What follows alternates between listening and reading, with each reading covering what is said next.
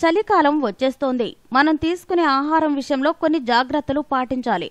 ఈ కాలంలో జలుబు దగ్గు వేధిస్తాయి. అందుకే చలికాలంలో ఆరోగ్య నిపుణులు పోషకాహారం తీసుకోవాలంటున్నారు. దీనికి తోడు ఔషధ గుణాలున్న పసుపు అల్లం దాల్చిన చెక్కలను ఆహారంలో చేర్చుకోవాలి. దాల్చిన చెక్క జీవక్రియను వేగవంతం చేస్తుంది. శరీర ఉష్ణోగ్రతను చలికాలానికి అనుగుణంగా మార్చుతుంది. టీ కాఫీ గ్రీన్ టీ తయారీలో కొద్దిగా దాల్చిన చెక్క పొడి వేసుకుని తాగితే బరువు తగ్గడంతో పాటు జలుబు దగ్గు లాంటి రుగ్మతల నుంచి తప్పుకోవచ్చు.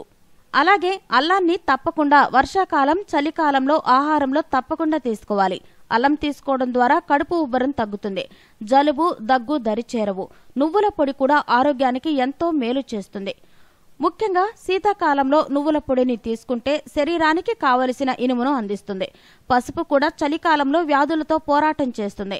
గ్లాసు పాలలో చిటికడు పసుపు వేసుకుని తాగడం ద్వారా గొంతు నొప్పి జలుబు నయమవుతుంది. కోడిగుడ్లను మిరియాలను కూడా చలికాలంలో డైట్లో చేర్చుకుంటే వ్యాధి నిరోధక శక్తి పెరుగుతుందని ఆయుర్వేద నిపుణులు సూచిస్తున్నారు.